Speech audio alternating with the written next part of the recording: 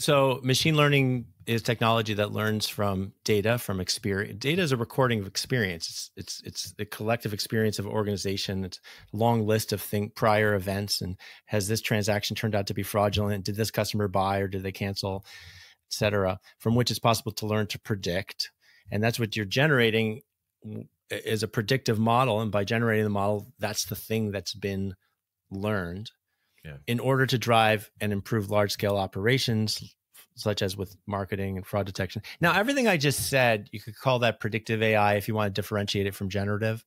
Also, was mm. called it, it still is called predictive analytics or just enterprise machine learning. These are the established use cases. This is the type of this is the way in which you apply machine learning.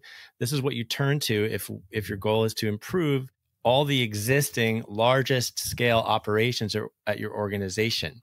Now, generative AI obviously is, is using the same core technology, but instead of predicting per customer or per, per product or per satellite that might run out of battery, per drilling location that might have oil, right? right? It's operating per word or more technically per token. But what should be the next word that I write in the sentence? How should I change this pixel as I'm rendering and generating a new image? So the generative of generative AI is not actually referring really to any specific technology, but rather the, the application area, which is that it's using to generate new content items. Mm-hmm. Obviously, that serves a very different purpose at an organization. And it's a bit apples and oranges, even though they're on, both under the quote AI umbrella. Now, AI, of course, can kind of mean whatever you want. The word intelligence is is amorphous. Right. And because of that, it really lends itself to hype. And I think the hype is a really big, big, big problem, not just something to laugh at. I think it's actually very costly.